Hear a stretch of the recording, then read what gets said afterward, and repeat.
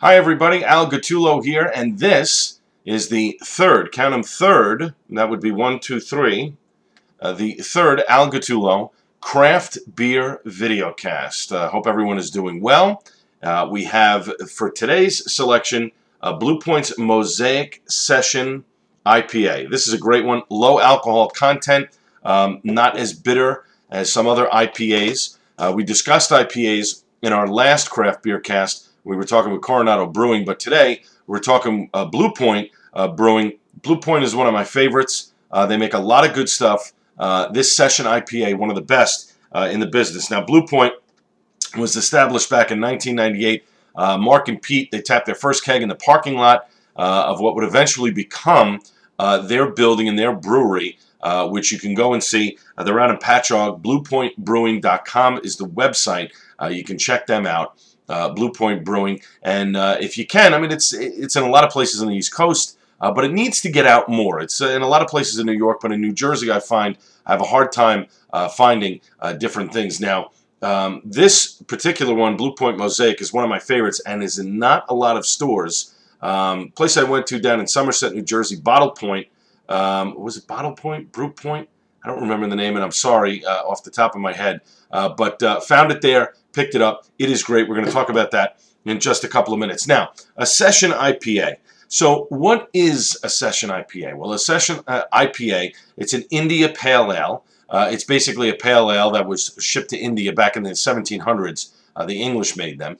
Um, and India Pale Ales usually have a higher alcohol content because the hops are uh, much, there's more hops uh, in the beer. Less sugar, more hops. That's how you get the higher alcohol content, or what we call ABV, alcohol beverage uh, volume. Uh, now this one is 4.8%, so it's a lighter one, so you can have a few more of them. It's a great, you know, spring, summertime beer. Uh, you know, you're sitting out in the backyard, you want to have a couple of beers and uh, not get too uh, too drunk. So you want to have uh, a couple of these. 4.8 is great, real good stuff. By the way, forgot to tell you guys, follow me, Twitter, at Al Gattullo, A-L-G-A-T-T-U-L-L-O. We're very high tech here on the Al Gattullo Craft Beer uh, video cast. That's why we use the cue cards. So uh, if you want, check it, check it out. Check me out again on Twitter. Remember, at Al Gattullo. Yes, that's a bottle opener. You want to know why? Want to know why it's a bottle opener? Because I'm about to crack open this deliciousness of Blue Point Mosaic. And then, uh, after I take a couple of sips and I tell you all about it, I'm also going to tell you what kind of food you can pair this with, okay? Uh, because, uh, you know, listen, let's face it.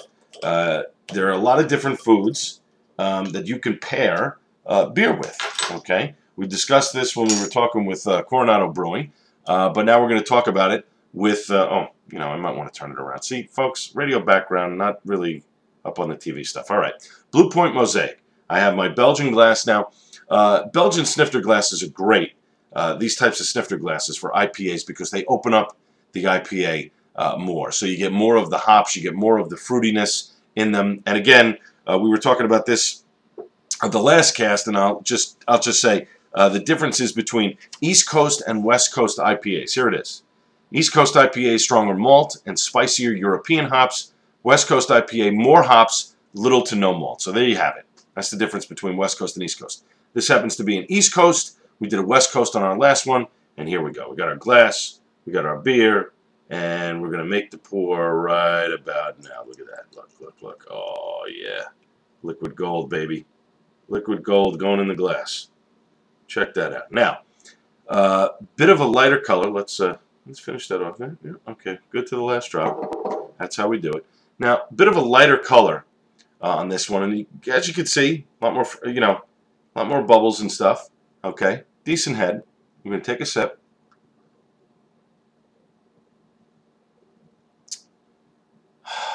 so good. Now, here's what I get out of this. Um, I don't taste as as many hops. It's a little uh, little bit um, fruitier, sweeter. I, I shouldn't say sweeter because it's really not sweet. A little fruitier, a little more grapefruit um, but definitely a lighter bitter taste. It's not as bitter as you would expect. So you can drink a few more of these. I'm going to have another sip now. Mm. Yeah, that's good. That's that's really good. Um, So again, not as bitter, um, much um, much fruitier, lighter colored, and again, less alcohol beverage volume, 4.8%. Now, what kind of foods can you pair this with? This to me, uh, out of all the session IPAs that I've had, and I've had a bunch of them, I find that this one is the best uh, for me um, just because of the fact that you can have a few of them and you don't get that. What happens with IPAs is a lot of times you'll drink, uh, you know, three or four of them and the bitter taste will some, you know, will start to overwhelm you a little bit. This doesn't. This is really an easygoing drinking beer. You're sitting out in the backyard. It's a beautiful day like today out on the East Coast. It's almost 80 degrees. Perfect. You can sit, relax, and have a couple. Now, food-wise, what do you pair this with? Well, with most IPAs that have a higher alcohol content, um, they're better paired with spicier foods. You're talking Indian foods, you're talking Mexican foods, um, things with spice in them.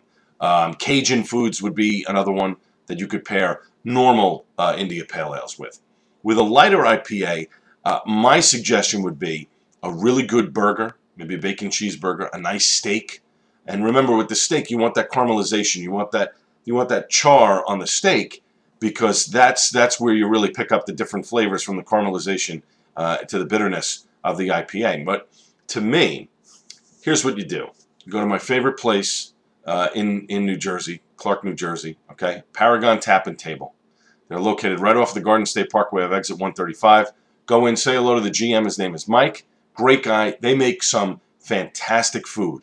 Okay, the chef, Eric Levine, he was a winner at Chopped. Now, I know that might not seem much for, for some people, but for other people it might be, okay? He makes great food. They're about to change their menu for the fall. Let me tell you something. You go in there, you get yourself a nice session IPA. They have one on bottle or if they have one on tap, and Mike is always changing the taps out uh, weekly. So chances are you're probably going to get a decent IPA in there, okay? Uh, one that will pair well with a lot of different foods. But get yourself the buffalo chicken dip with the multicolored chips, and then you get yourself one of these, one of these babies, okay? And you drink it and you eat it, and I'm telling you, it is fantastic.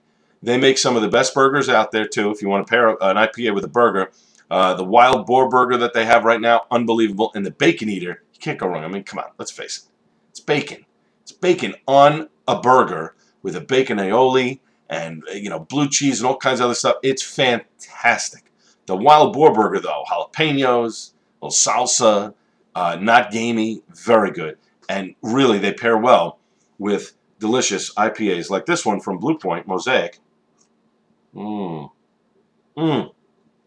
Let me tell you, liquid gold, my friends, liquid gold. Now listen, if you like this and other stuff, follow me on Twitter at Al okay? A L G A T T U L L O. We also need a name for the show. We've got plenty of names out there, but I need you folks to help me out in picking a name. The Suds Report, a pint of Gattullo, Al's Alecast, Suds and Duds. I like Suds and Duds as like a, you know, maybe a little category that we could talk about. Some beers that are good and some beers that aren't. Uh, Drinking with Lincoln, Good Head with Al. We need a name for this show. Please comment on YouTube.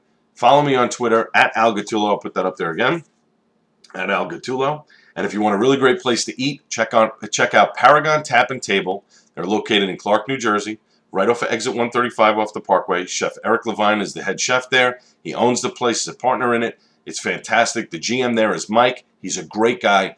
Will absolutely, and the bartender's so knowledgeable, will pick out the right beer for your meal. But if you're having an IPA, I'm telling you, get the Wild Boar Burger with an IPA or a nice session ale like Mosaic, the Mosaic from Blue Point Brewing, okay? And check out the Buffalo Chicken Dip. It is unbelievable. It's outstanding. Okay, folks? Next time around, I think we're going to do porters, maybe some Oktoberfest beers since tis the season. We're in it right now.